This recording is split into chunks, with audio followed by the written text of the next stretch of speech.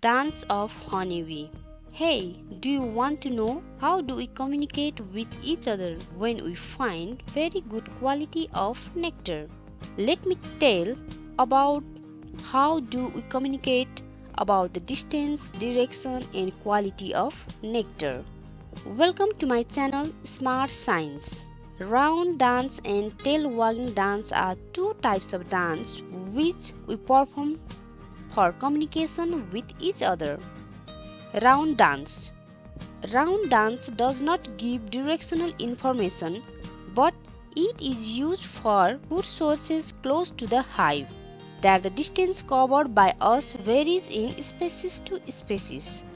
In case in Apis mellifera, the distance covered by it is 10 to 50 meter close to the hive.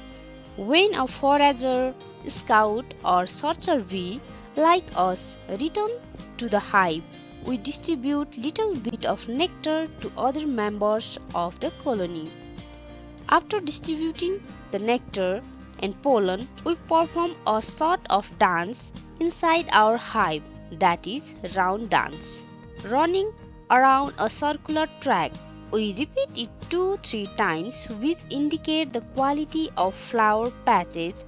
If the food sources is more attractive then we show more excitement to dance. After it, immediately we leave the hive towards the sources and other searcher bees also start following us to collect the nectar. Waggle dance. When the food sources is far away from our hive, we perform this type of dance for the information about the direction and distance to collect our food items.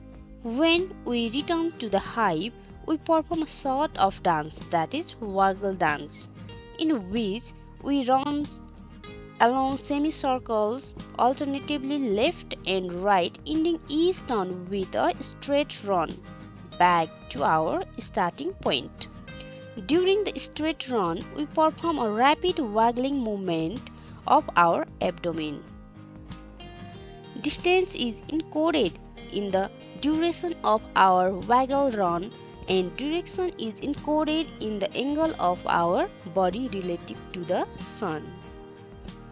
If we waggle upward, we are signaling that the food sources is towards the sun and if we waggle downwards, it signals that the food sources is away from the sun.